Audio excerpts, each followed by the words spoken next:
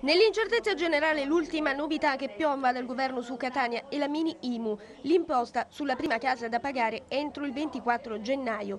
L'ennesima scadenza che, oltre a caricare di un ulteriore onere cittadini, aggiunge confusione ai commercialisti tecnici, spiega Angela Russo, ragioniere dello studio toscano e presidente dell'associazione di categoria Razionem. Bene, come al solito siamo qui a disposizione del, del nostro Stato.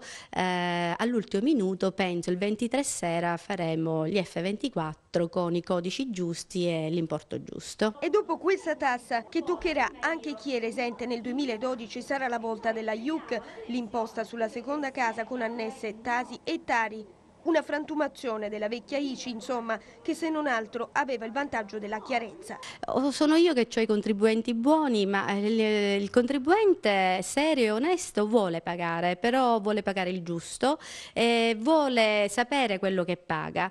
Come diceva lei prima, c'è molto scioglilingua e non, penso che questa incomprensione sia anche voluta. Nel limbo, alle prese con calcoli difficili, sminuiti come figure professionisti, anche da Catania si dicono pronti a incrociare le braccia. Dico ora basta.